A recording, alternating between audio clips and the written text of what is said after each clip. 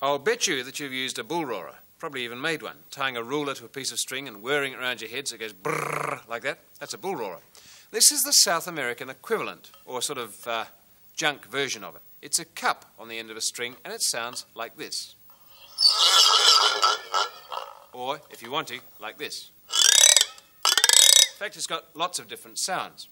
And it works uh, a bit differently from the bull roarer. First of all, that's a tin or a cup with a string coming through a hole in the middle. It's just knotted on the other side, like uh, that.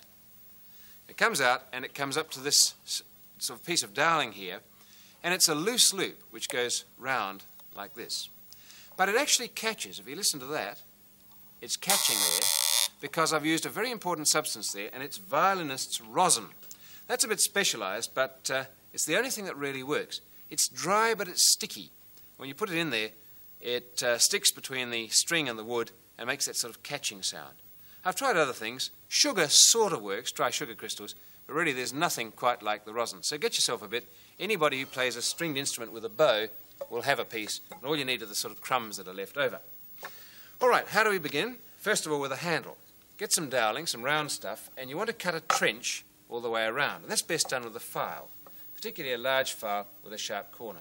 Just keep cutting away there. Make sure it's a, a groove that really does meet itself on the other side, or else you'll be in all sorts of trouble as the thing winds itself around your ears. But once you can get it to meet up with itself, keep filing it, and it'll end up in something like that fashion there. Quite a decent groove, and the string fits inside that. Well, the string is best uh, if it's fairly thick, otherwise it can break and fly off uh, and do all sorts of trouble.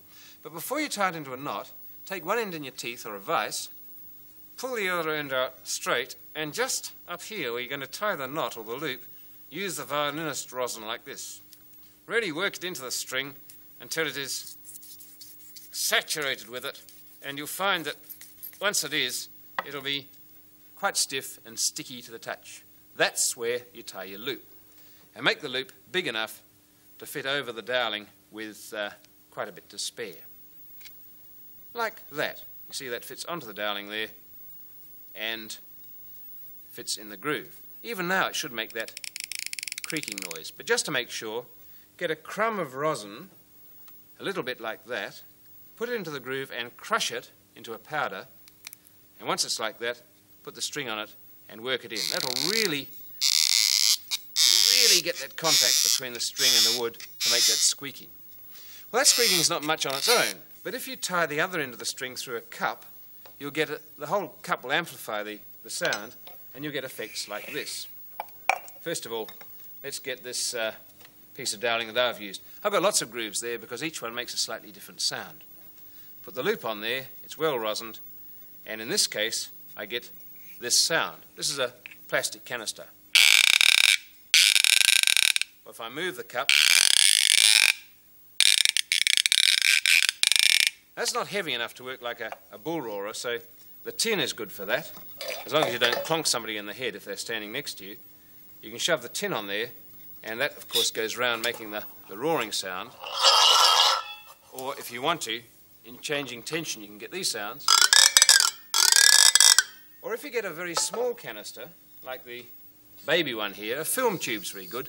You can put that on there, and by putting your hand over the end of it, you can make this thing talk. Are actually used in uh, sort of rough South American bands even today. And if you're really good, you can get a few together and create your own South American cup roarer rhythms.